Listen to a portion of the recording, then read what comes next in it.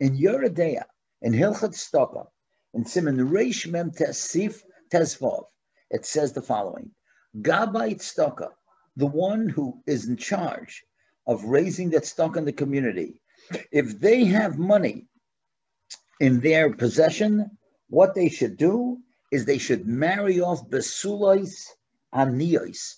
They should marry off those girls that are financially strapped, because as it says, she'ain tzedakah gedola mizu. Dina, listen to that. That's what it says in Yoreh De'ah. What you are doing is the greatest tzedakah. She'ain tzedakah gedola mizu. That's the din of Shulchan Aruch. To marry off a poor girl who doesn't have funds. That's what Likrat Kallah is all about. The Shulchan Aruch is paskening for you. And Hilchot Tzedakah, Reish Mem Test, there's no tzedakah that's greater than that.